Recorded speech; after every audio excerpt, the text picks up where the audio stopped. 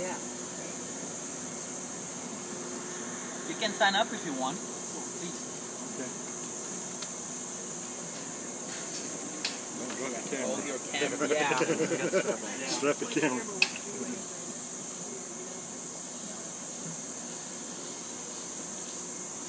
Somewhere here, there's a, a $150 sunglasses that I lost here oh. around. So, Hold on to your sunglasses. yeah, or anything else.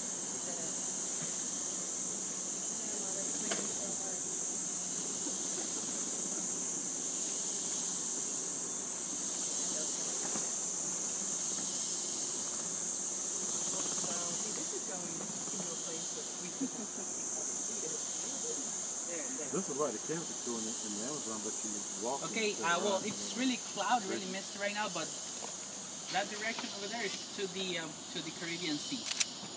Basically, you can uh, a little, you can see the line, Okay.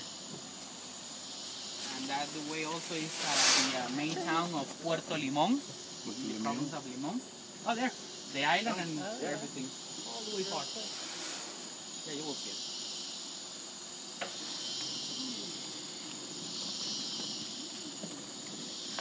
How long have you worked? Uh, since the very beginning. Actually, the park is not that old. It's uh, it's been open for uh, six years. From in 2008 was the grand opening. So since there, since that time, I mean, been diving. This is the company that actually built these fans. Did they, have they built several of them around? Oh, uh, actually, this one is uh, a little kind of unique compared to others in Costa Rica.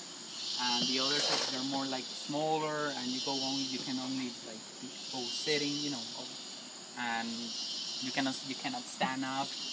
You know, this is we uh, the owners go completely, you know, the other way, completely different in terms of compared to the other trams in Yeah. Costa Rica.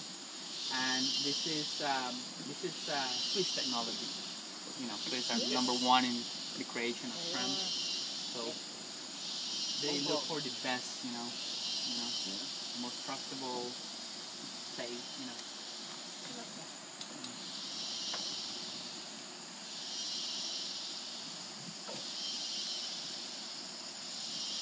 That our rainforest, we're talking about a territory that is 3,200 acres of forest.